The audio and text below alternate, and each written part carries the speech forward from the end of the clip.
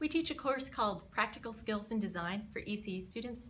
This course was actually suggested to me by one of our own ECE undergraduate students.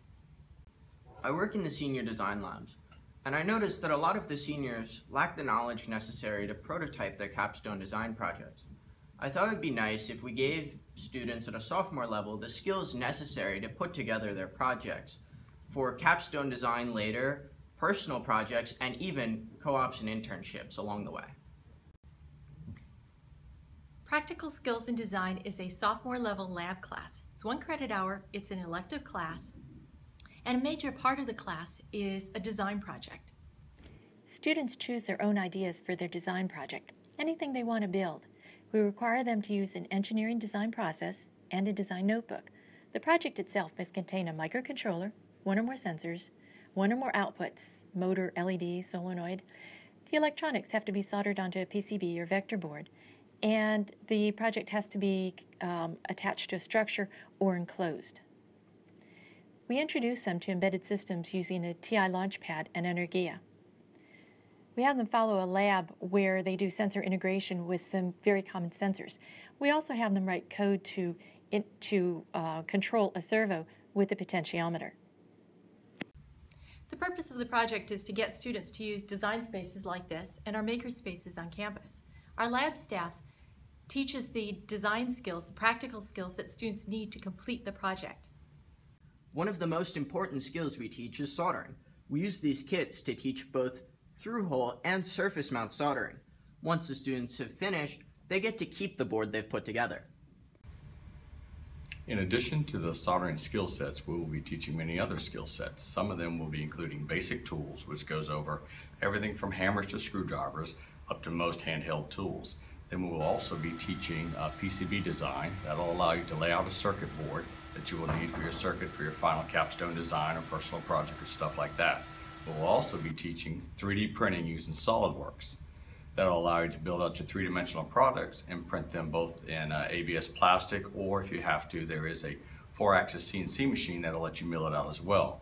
We will also be teaching a basic uh, connectors and headers class. This will allow you to uh, develop DB9 Ethernet cables, headers, connectors, all the stuff that you'll need to actually connect your circuits to your microcontroller that you'll be using. Towards the end of the semester, students are given roughly four weeks to complete their projects. Um, these projects uh, usually are something along the lines of a dog feeder or um, usually involve music or some of their personal hobbies. Hello, my name is Latifa Al Maghribi. This is my final project for ECE 2881. It's a vest for bikers. It has two sets of LEDs, right and left. Each set would turn on uh, based on the turn detected. The turn is detected using a magnetometer or an electronic compass that you see here. There is an Arduino micro that I use as a microcontroller to control the whole system. Um, if I turn it to the right, these LEDs would turn on. If we detect a left turn, then these LEDs would turn on. Thank you very much. So it's a code breaker game that the microcontroller generates a random binary code and that the goal is to uh, flip the switches on the in the on and off positions in the correct order to win the game. And now we've won the game and it's going to flash five a couple times and there's a delay in there so you can see the, the, uh, the changing segments.